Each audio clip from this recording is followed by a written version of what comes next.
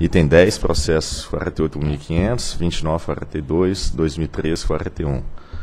Recurso administrativo interposto pela Companhia Hidrelétrica São Patrício, em face do AI 14 de 2010, lavrado pela Agência Goiana de Regulação, Controle e Fiscalização de Serviços Públicos, que aplicou multa em virtude de irregularidades constatadas em seus desempenhos técnico e comercial. Diretor relator, doutor Julião Coelho.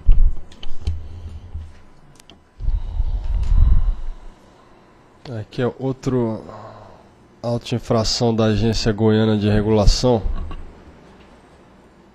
O pessoal lá está trabalhando mesmo, né?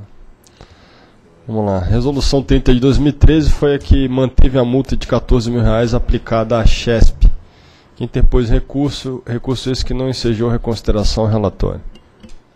Curadoria. Infração aqui está caracterizada, não negada, então a Procuradoria opina pela manutenção do auto infração. Recurso tempestivo. A não, primeira não conformidade rebatida em recurso.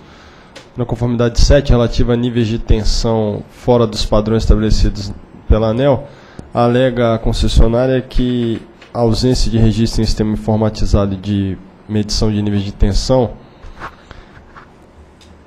sobre essa, essa questão, a Chesp alega que executou as obras necessárias à correção do nível de tensão e por ter efetuado as compensações aos consumidores já foi punida uma vez pela prática da infração. Consoante precedentes, a correção da infração não a descaracteriza e a compensação creditada aos consumidores consiste em exceção de contrato não cumprido e não em penalidade, razão pela qual não há bis in idem. No tocante à não apuração de indicadores de continuidade por por meio de procedimentos auditáveis, objeto da não conformidade N9, a Chesp aduziu que já possuía a certificação ISO 9000 quando da lavratura do auto de infração. Assevera a agência estadual, contudo, que quando constatada a infração, a Chesp ainda não possuía o ISO 9000, de maneira que se aplica uma vez mais o entendimento de que a correção da infração não a descaracteriza.